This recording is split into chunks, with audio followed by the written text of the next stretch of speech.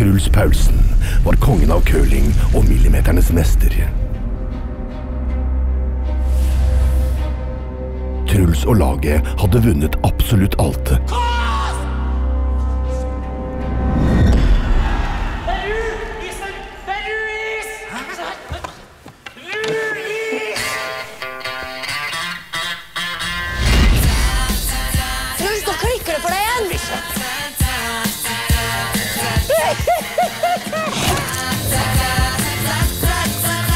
Du må stå opp. Pelle skal tisse. Hvordan går det egentlig med deg? Kyss Pelle.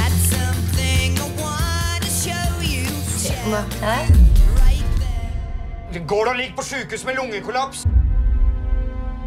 Det sier maks to-tre måneder hvis han ikke finner en donor. Truls må kjempe sin hardeste kamp noensinne. Vi Skal redde deg ved Nagoland. Ja, vi må jo samle gjengen og vinne NM i curling. Og redde Gordon.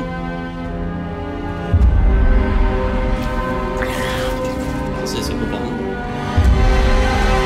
Kongen av curling må vinne.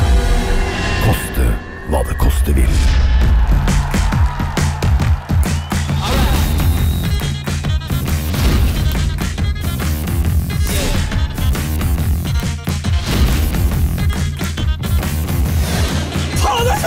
Jeg har speedos der. Hei!